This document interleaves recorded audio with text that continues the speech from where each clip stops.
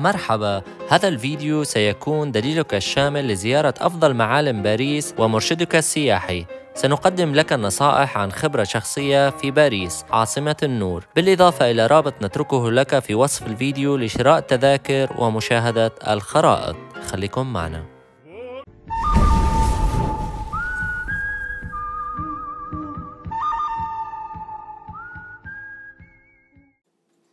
فرنسا نظرة سريعة عن البلدان المجاورة لفرنسا. بلجيكا، لوكسمبورغ، ألمانيا، سويسرا، إيطاليا وكمان إسبانيا. رح ننتقل مباشرة إلى باريس وأول معلم لازم تزوره بباريس هو برج إيفل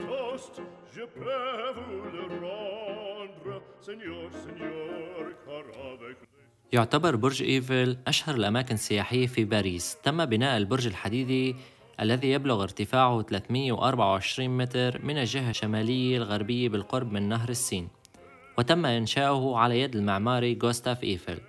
عام 1889 يضم البرج ثلاث طوابق وفيه بعض الفعاليات ومطاعم وسترى الكثير من المناظر البانورامية وأيضا الفن المعماري في باريس. كما ترى هنالك الكثير من الأشخاص ينتظرون دورهم للصعود إلى البرج أو لشراء البطاقة. لذلك ننصحك بشراء بطاقة الصعود عبر الموقع الإلكتروني الذي سنقدمه لك في وصف الفيديو. أيضا يحتوي البرج على مصعد كهربائي ودرج. لذلك تختلف أسعار البطاقات ولكن بشكل عام يبدأ سعر بطاقة الصعود إلى البرج من 17 يورو للشخص البالغ. أوقات البرج من الساعة التاسعة والنصف صباحا حتى الساعة الحادية عشر إلا ربع ليلا. وكل هذه المعلومات قابلة للتغيير من قبل طرف إدارة البرج. ما تراه أمامك هو حديقة شام دو مارس وهو نشاطنا التالي. يمكنك شراء قهوة وتمتع بمنظر البرج من الأسفل. صممت الساحة عام 1751 وكانت مخصصة للتدريبات العسكرية الفرنسية وهي منتزه مثالي لقضاء الوقت لكن عليك أخذ الحيطة لأن الأمان في هذه المنطقة السياحية العالمية قد يكون قليل فلا تضع الهاتف أو الحقيبة جانبا.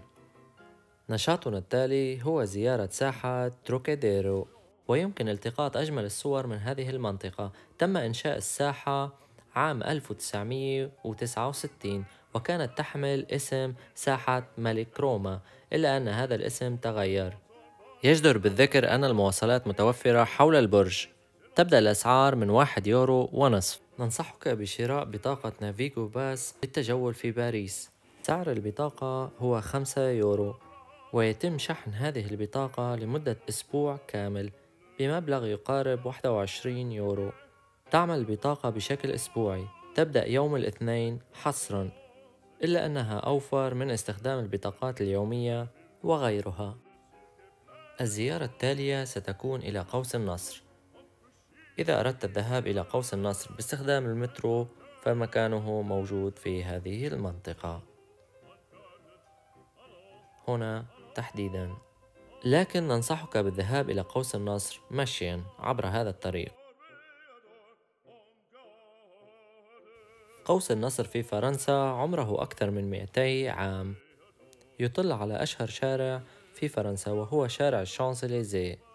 أمر نابليون بونابرت ببناء هذا المعلم لتخليد جميع انتصاراته وفي هذه الأيام تقام فيه جميع الفعاليات والأعراس الوطنية.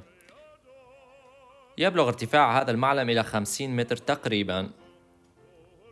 ننصحك بزيارة هذا المعلم في الصباح الباكر. قبل الساعة العاشرة صباحا. رسوم الدخول لهذا المعلم تقريبا هي 12 يورو. هذه بعض النماذج التي تم رفضها لبناء المعلم. أيضا أراد نابليون أن يرى هذا المعلم من قصره إلا أن ذلك لم يتم. كتب على هذا المعلم الكثير من أسماء الجنرالات والمساهمون في انتصارات الثورة الفرنسية. المزيد من المعلومات والتحديثات تجدها في الموقع الرسمي للقوس في وصف الفيديو. بعد الانتهاء من زيارة قوس النصر ندعوك إلى زيارة شارع الشانزليزيه. حيث بإمكانك شراء الكثير من الماركات العالمية المتواجدة على جانبي هذا الشارع. أيضا هو مكان جميل لتناول طعام الغداء أو شرب القهوة إلا أن الأسعار قد تكون مبالغ فيها قليلا. في نهاية الشارع ستجد هناك قصرين حيث يمكنك أخذ بعض الصور الجميلة على باب القصر الصغير. القصرين هما عبارة عن متاحف يمكنك زيارتها أو الانتقال معنا إلى المعلم التالي. لا تنسى بأخذ الحيطة والحذر في أي مكان متواجد فيه أنت في باريس. أيضا يجب عليك الانتباه إلى القواعد المرورية بشكل كامل.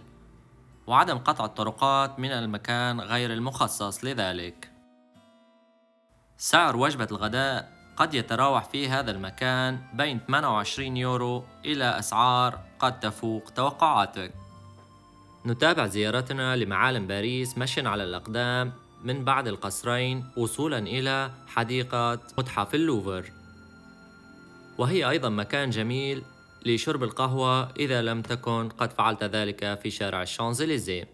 أيضا تحتوي هذه الحديقة على بعض الفعاليات للأطفال وللبالغين. هذه الحديقة نهايتها يوجد متحف اللوفر وهو محطتنا القادمة.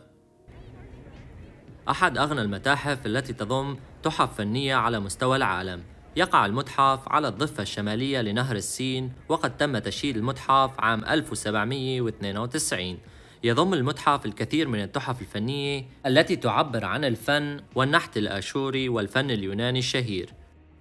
كما يضم المتحف لوحات من عصر النهضة وأيضا لوحات من الفن القوطي والإسباني ويضم أشهر لوحة في العالم وهي لوحة الموناليزا. أسعار تذاكر متحف اللوفر في باريس تبدأ من 15 يورو. أوقات الزيارة والأسعار وجميع التحديثات تجدها في الرابط أسفل الفيديو. يحتوي المتحف على منظومة أمنية عالية وشديدة الرقابة. لذلك ننصحك بعدم القيام بأي حركات عفوية داخل هذا المكان. أيضا عدم لمس أي قطعة موجودة في متحف اللوفر.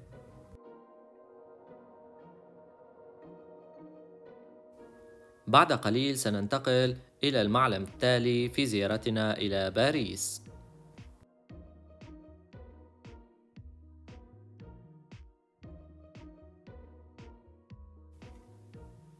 بعد زيارة متحف اللوفر إما يمكنك زيارة كاتدرائية نوتر دام وهي التي لا تبعد كثيرا عن المتحف أو يمكنك قيام بزيارة دار الأوبرا. عبر هذا الطريق كما نريك الآن. فهي ليست بعيدة عن كلا المعلمين. دار الأوبرا في باريس وهو اسمه قصر جارني في باريس وأيضا بجانبه الكثير من المحلات وأبرزها متجر جاليري لافايت. يمكنك التجوال حول منطقة الأوبرا في باريس لالتقاط صور أعمدة المبنى ومنحوتاته الذهبية حيث يعتبر المبنى من أغلى المباني الأوروبية سعرا وأكثرها فخامة وتألقا. كما يمكنك الاستمتاع بجولة داخل المبنى بدءا من الدرج الضخم الذي يضم المنحوتات المثيرة والثريات الفخمة. ولا تنسى التقاط الصور للوحات السقف. ثم ينتهي الدرج بالبهو الكبير وهو عبارة عن قاعة استقبال يبلغ ارتفاعها 18 متر وطولها تقريبا 154 متر وعرضها 13 متر. ولا بد لك من زيارة المسرح الذي يتسع إلى قرابة 2000 مشاهد وهو الأكبر في أوروبا حيث يستوعب إلى ما يصل 450 فنان. يمكنك أيضا المرور بمتجر الهدايا لشراء بعض القطع التذكارية والكتب المفيدة. أيضا يمكنك في نهاية رحلتك داخل الأوبرا تناول وجبة فرنسية لذيذة أو طبق أوروبي في مطعم القصر الذي يمتاز بتنوع أصنافه وجلساته الراقية. أوقات العمل في القصر تبدأ من الساعة التاسعة صباحا وحتى السابعة مساء وآخر دخول إلى القصر هي الساعة السادسة مساء. الأسعار تبدأ من 11 يورو. أيضا هناك بعض العروضات التي تبدأ أسعارها ب 27 يورو. سنترك لك الرابط في الأسفل الذي يشرح الأسعار والأوقات وجميع المعلومات المحدثة. كما ذكرنا سابقا من متحف اللوفر يمكنك الذهاب إلى كنيسة نوتردام عبر المشي بجانب النهر وصولا إلى الكاتدرائية. أيضا بإمكانك التقاط الكثير من الصور الجميلة من فوق الجسور على نهر السين. قبل الذهاب إلى كنيسة نوتردام ننصحك بالجلوس في أحد المقاهي أو المطاعم المميزة في الحي اللاتيني وهو المعلم التالي الذي سنقوم بزيارته. يقع الحي اللاتيني على الضفة الشمالية من نهر السين في القلب من مدينة باريس وفي الوقت الحالي يشكل المدينة القديمة من باريس أبرز معالم الحي حديقة نباتات في باريس كما يضم الحي العديد من المعالم الأخرى مثل جامعة السوربون روعة الأنشطة السياحية في باريس لا تكتمل بدون جولة بين أزقة الحي وشوارعه الحجرية وتصاميمه المعمارية الأنيقة. هنا نرى في الصورة مكتبة شكسبير وهي المكتبة المشهورة في هذا الحي وننصحك بزيارتها وأخذ فكرة عن المواضيع والكتب الموجودة في داخله. في هذا الحي تجد الكثير من المطاعم والمقاهي القديمة التقليدية والكثير من المطاعم التي تقدم الوجبات الفرنسية الأصلية أو الوجبات الأوروبية. في حال كان لديك الرغبة في تجربة وجبة جديدة يوجد في هذه المنطقة المطاعم التي تقوم بتقديم حساء الحلزون أو الضفادع. الطبق الأهم في هذه المنطقة هو طبق الفوندو وهو عبارة عن طبق يحتوي على الجبن المطبوخ وتعتبر هذه الوجبة سويسرية الأصل حيث يقوم عامل المطعم بتسخين الجبنة على طاولتك. الكثير في هذه المنطقة يتحدث اللغة العربية بطلاقة أيضا اللغة الإسبانية والإنجليزية. هناك العديد من أنواع المطاعم الموجودة في هذا الشارع.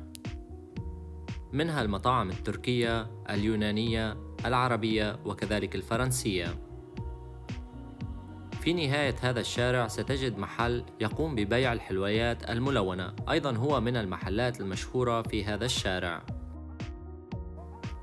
ستراه الآن على اليمين. The Pirates Candies. حلويات القرصان. كما سترى الآن على اليسار محل الشوكولا العالمي الموجود في هذا الشارع. ذو أسعار مناسبة جداً. يرجى الانتباه إلى أن بعض المطاعم في هذه المنطقة بحاجة إلى حجز مسبق. هنالك الكثير من الفنادق المتواجدة في هذه المنطقة. إلا أن حجز غرفة في هذه الفنادق قد يحتاج إلى أشهر قبل ميعاد القدوم إلى باريس. سعر الفندق في الليلة للغرفة الواحدة ما يقارب 70 يورو وقد يصل بعض الأحيان إلى 300 يورو.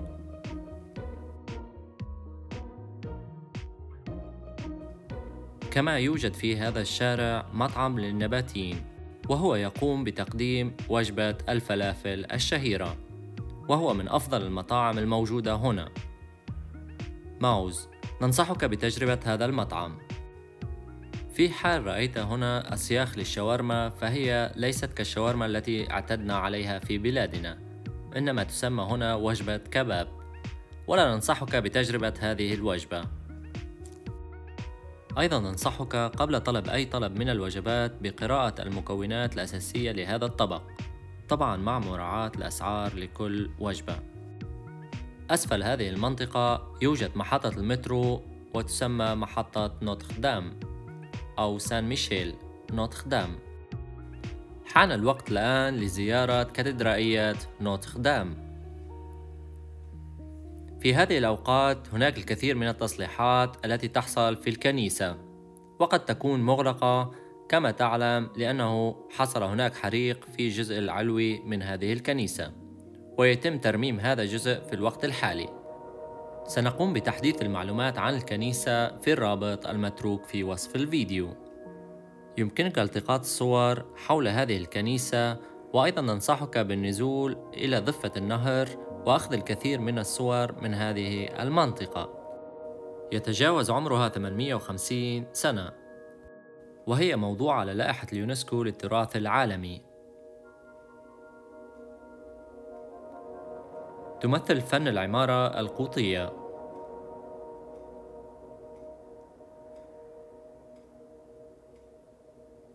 بناؤها استغرق أكثر من مئة عام.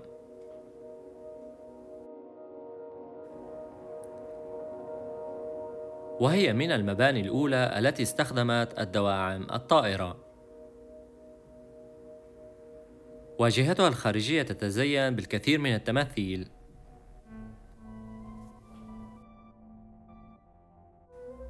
تقوم الحكومة الفرنسية بالاعتناء الكبير بهذه المنطقة وأيضا بهذه الكنيسة بالذات. لذلك سترى الكثير من أعمال الصيانة المحيطة في هذه المنطقة.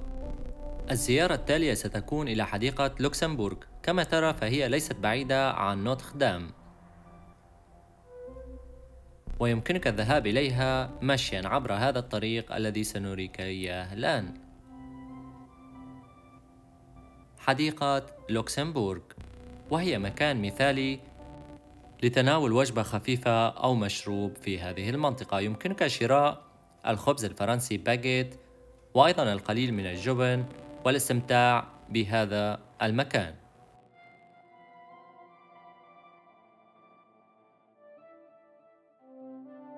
دخول هذه الحديقة مجاني.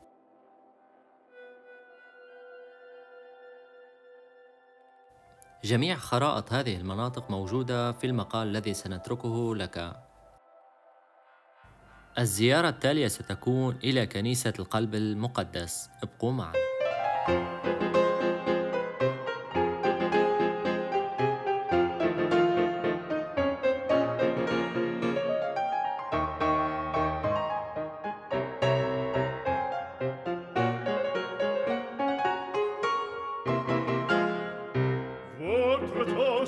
Je peux vous le rendre, Seigneur, Seigneur, car avec les soldats, oui, les toreros peuvent s'entendre. يجدر بالذكر أن البعض يبحث عن مكان للشيشة في باريس. نريك الآن أفضل مكان للشيشة في باريس.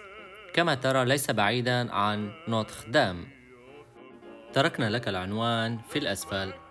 كنيسة القلب المقدس في باريس. عليك البدء بمشاهدة الهيكل الخارجي للكنيسة الذي يحمل الطراز اليوناني البيزنطي بالقباب المميزة والزخارف والتماثيل التي تحمل ملامح العصور الوسطى. إلى جانب برج الساعة الشهير. والآن عليك الدخول إلى مبنى الكنيسة والذي يحمل أيضا الطراز الروماني البيزنطي في الديكورات والزخارف. يمكنك أن ترى الفسيفساء والزجاج الملون والرسومات المميزة للشخصيات القبطية الشهيرة ولا سيما رسومات للسيد المسيح والسيدة مريم العذراء. ولا يجب عليك مغادرة كنيسة القلب المقدس في باريس من دون التعرف على أكبر قطعة فسيفساء في العالم وهي فسيفساء قبة كنيسة القلب المقدس التي تحمل تصوير للسيد المسيح في زي أبيض ممددا ذراعيه وله قلب ذهبي وحوله العديد من الأشخاص. زيارة الكنيسة يوميا من الساعة السادسة والنصف صباحا حتى الساعة العاشرة مساء. الزيارة التالية إلى ديزني لاند باريس وهي بحاجة إلى يوم كامل. يمكنك أخذ القطار ويستغرق بحدود 45 دقيقة. ديزني لاند بارك هي الأشهر على الإطلاق في العالم وهي الأكثر زيارة على مستوى أوروبا كلها وتعتبر من أشهر الأماكن السياحية أيضا في فرنسا. افتتاح مدينة ديزني لاند عام 1992 من قبل شركة والت ديزني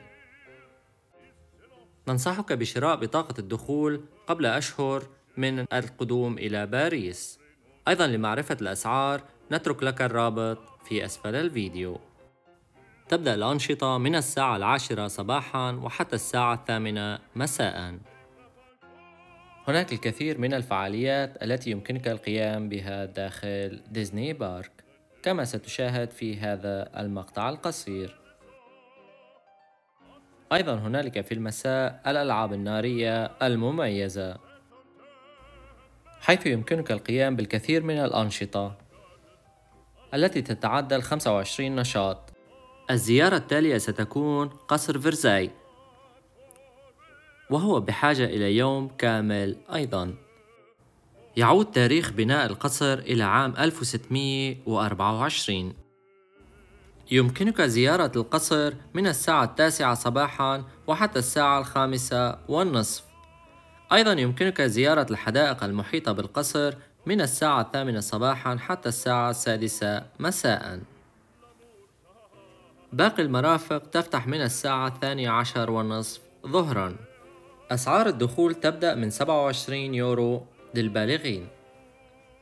أيضا حديقة القصر هي من أروع الحدائق الموجودة. ننصحك أيضا بقضاء وقت داخل هذه الحدائق. في حال وصلت إلى هنا الرجاء كتابة كلمة باريس في التعليقات لنعلم أنك من المشاهدين المميزين.